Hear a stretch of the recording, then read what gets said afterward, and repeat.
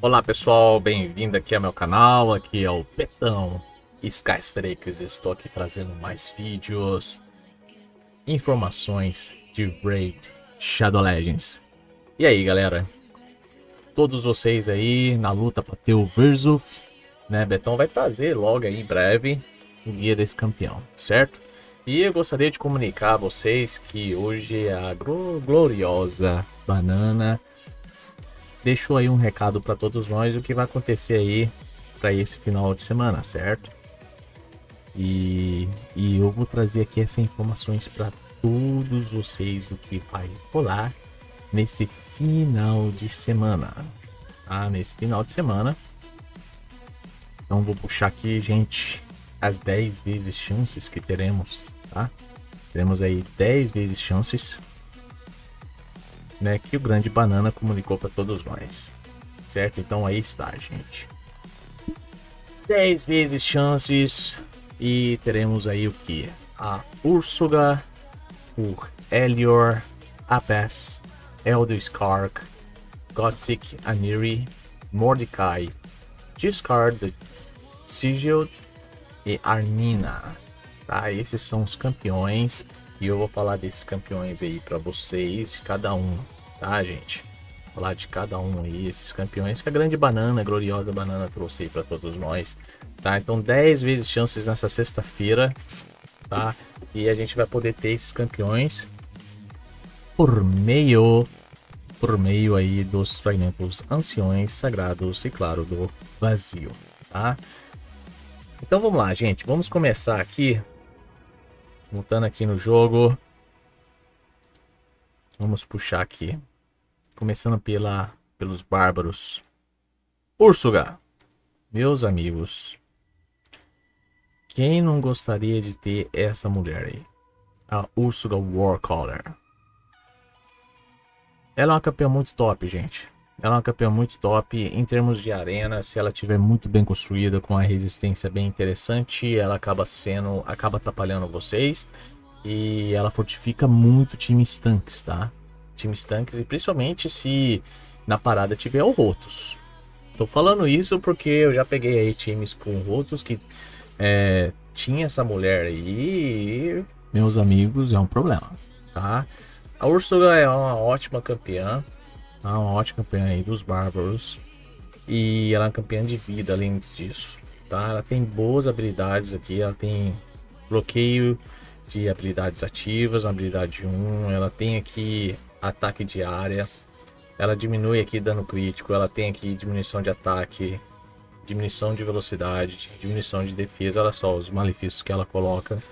Mais a questão aqui da proteção de aliado e de fortalecer, tá? Fora isso, ela tem uma passiva também que ela diminui o dano de todos os aliados recebem de ataques críticos em 30%, tá? Este campeão vai receber aí o dano em vez disso, tá? Isso aqui é um outro fator também, por isso essa campeã, gente, ela acaba sendo uma chave ali em termos de arena. Quem tiver ela acaba saindo muito bem em termos de arena de forma geral.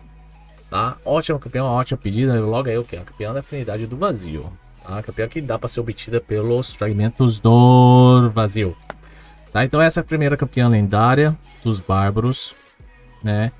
Aparecendo, pintando aí para todos nós. Né? Mantendo aqui nos, nos bárbaros, continuando os bárbaros, é, será, digamos que, será a puxada dos bárbaros, mano. Porque tem o Eldescarg aqui. Eu acho esse cara interessante, o campeão de ataque.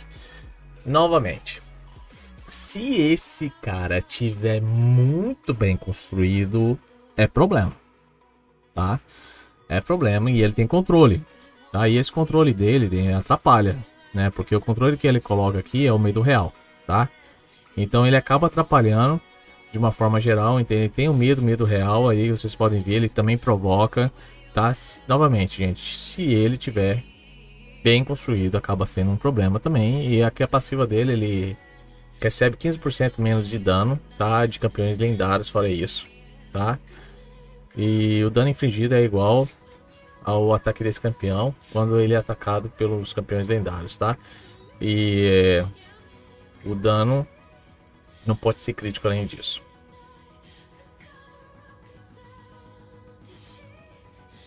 Tá, então esse aqui é um campeão muito interessante, é o Descarga. Ele me lembra muito o, o Bárbaro ali do, do Diablo, mano. Acho, acho um campeão interessante, tá? Acho um cara interessante, então aí fazendo parte dessas dessas dessas convocações que vamos ter, né? Fugindo aí, além do Elder Skarg, aí a gente vai sair daqui dos bárbaros, a gente vai lá no Hélio, tá? O Hélio, gente, pô, eu nem tenho o que falar muito, né? O logo aqui dos Lords da Bandeira. Esse cara aqui é, é, um, é muito rock. Né? É um cara aí que dá pra gente ser obtido, é assim como é o descarga pros campeões, pelos fragmentos anciões, fragmentos sagrados, tá? Então, esse cara aí é top. Né? Conseguiu esse campeão, outro campeão também em termos de arena, traz um retorno favorável, time stand funciona muito bem. Né? Um campeão muito interessante, ele possui aqui uma passiva que eu achei muito interessante também, que é a passiva dele aí, sempre que um aliado é... tiver aí dois ou mais é, malefícios é atacado, né? Este campeão vai absorver 30% aí do dano infligido é, naquele aliado, tá?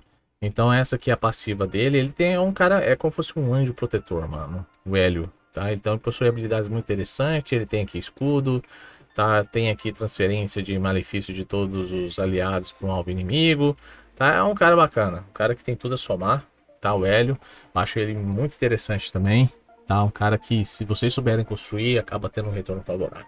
Né? Então, fora, fora que o Hélio, fora o grande Hélio aí, né? o outro campeão lendário que está na parada Aí eu já não acho, eu já não acho ela tão interessante assim. Tá, é uma campeã ainda que tá faltando aí a Plarium dar uma enchida melhor nela, mas se já mexeram, né? Logo aqui na ordem sagrada que é a Bess, tá?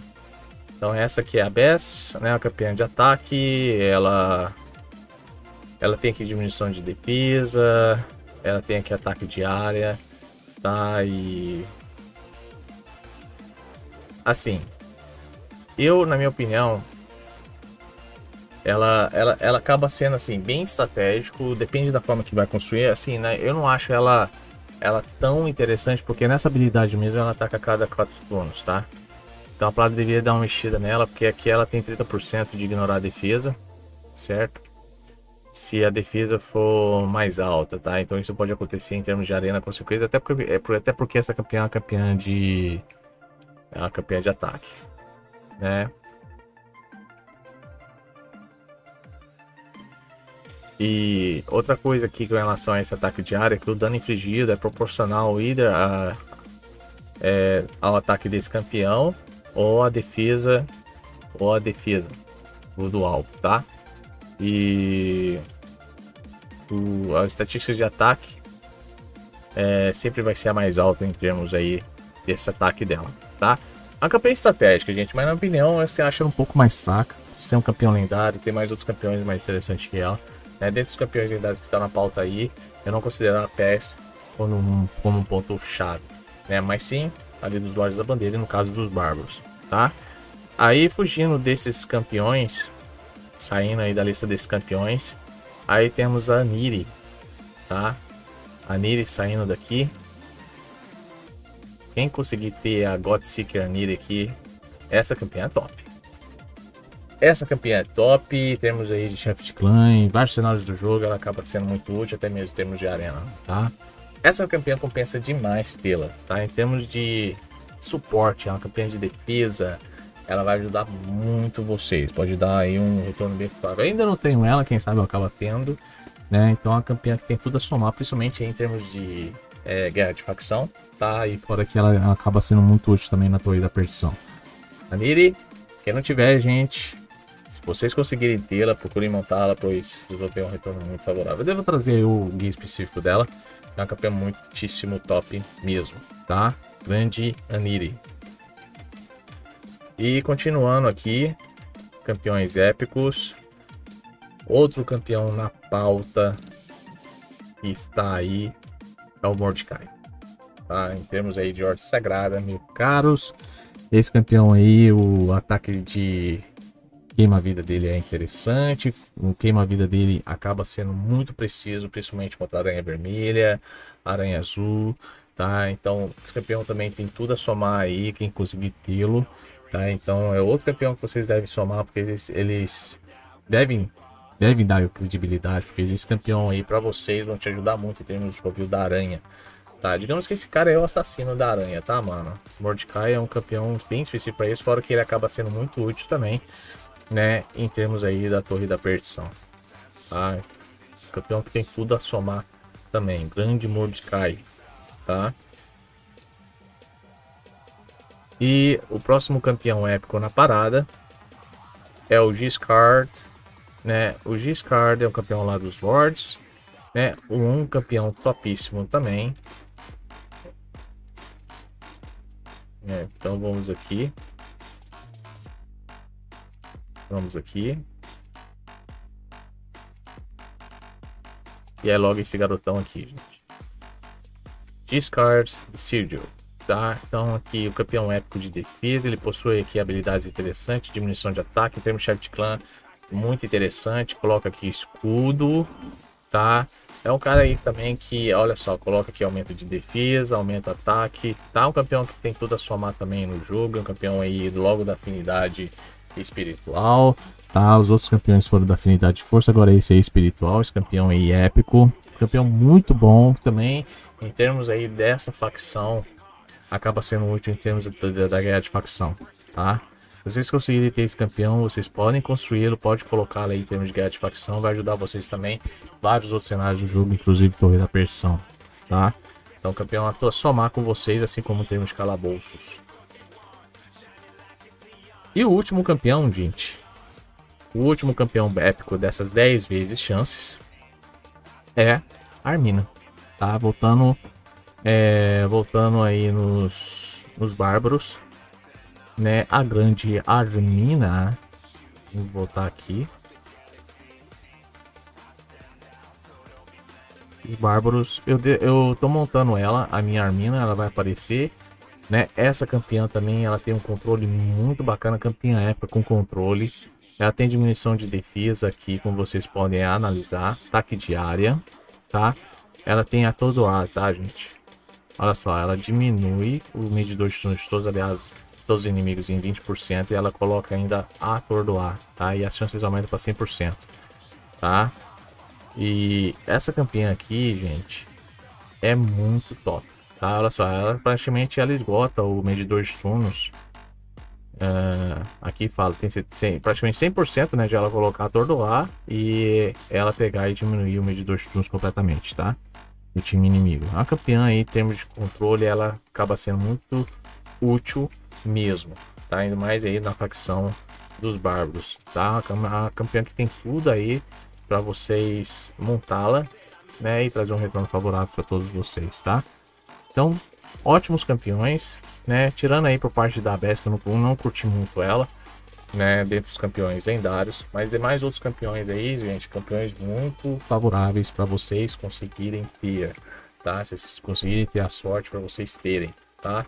É, eu vou participar aí né, dessa, dessas convocações, por mais que eu não tenha muitos fragmentos, mas é que eu consiga ter dentro dos campeões do Brasil, né, a Úrsula né? Isso vai ser muito bom, favorável. Então eu vou, eu vou participar em termos, em termos da, dos fragmentos do vazio, para ver o que, que, acontece, né? Mas vamos ver. Né? Eu já não vou abrir nos fragmentos azuis, eu vou juntar mais, tá? É, já não tenho tanto interesse assim de pegar o Mordecai, porque eu já peguei outros campeões de queima-vida, tem outros campeões de queima-vida na pauta para eu trabalhar. Mas tá aí, gente, as 10 vezes chances, né? Campeões aí interessantes para todos vocês. E eu quero deixar uma coisa aqui, gente, uma informação muito interessante além disso que tá rolando aí, certo? É, muita gente tem dificuldade de aqui na batalha do Cavaleiro de Fogo, certo? Cavaleiro de Fogo aqui. Gente, olha só. É, para vocês é, conseguirem ter mais hits né, no Cavaleiro de Fogo, vocês terem um melhor desempenho, tá? De acordo com os campeões de vocês. E não é só ter vocês terem ali campeões que acertam várias vezes, né? Três hits, quatro hits na habilidade 1, enfim, vários ataques. Né? Mas, gente, se vocês forem construir os campeões de vocês, é, procurem analisar parada de defesa aqui, tá? Não vou pegar isso por parte desse campeão, eu vou pegar aqui por parte do Thor, tá? Então vamos aqui. É, essas habilidades aqui de retribuição, que tem contra-ataque, gente, deterrência aqui, essa outra habilidade aqui, tá? É, essas habilidades aqui acabam tendo, acabam ajudando vocês em termos de contra-ataque, a vocês a terem mais ataques é, ali no Cavaleiro de Fogo. Então, dependendo do time que vocês forem montar em termos de Cavaleiro de Fogo, se vocês tiverem aí maestrias projetadas em termos aqui de contra-ataque, isso pode ser interessante, tá? Eu já não falo a questão dos artefatos, né? Tem outros, tem a questão dos artefatos também de contra-ataque que acaba ajudando muito bem, tá? Que é o que o que são esses artefatos aqui, a gente vem aqui nos calabouços, temos aqui o retaliação. Eu já pude falar sobre esse artefato aqui, tá?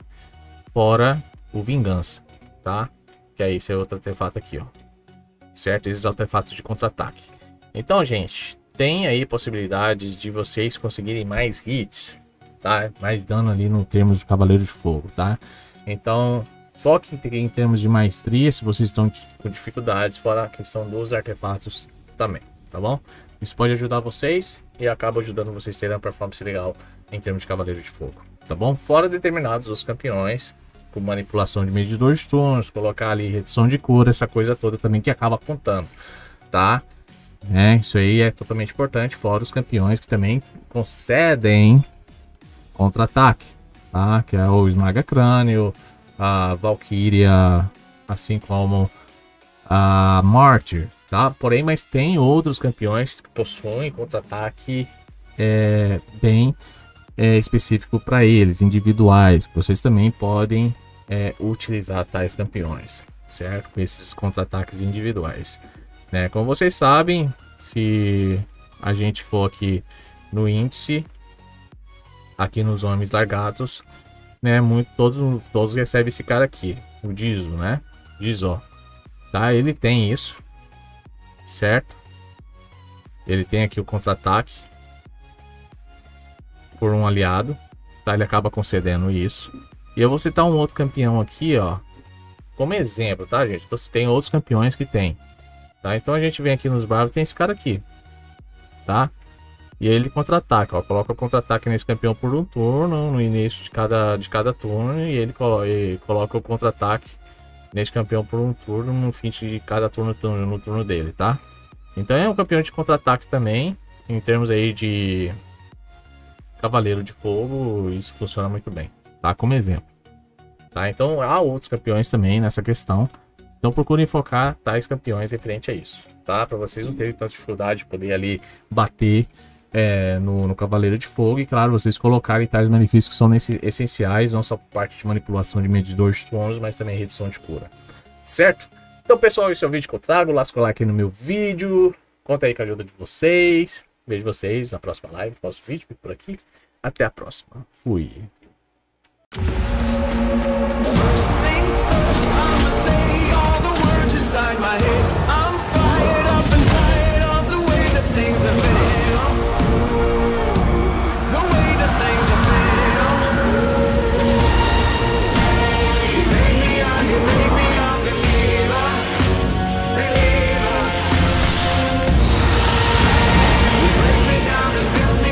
Are you a believer? Raid Shadow Legends. Play for free.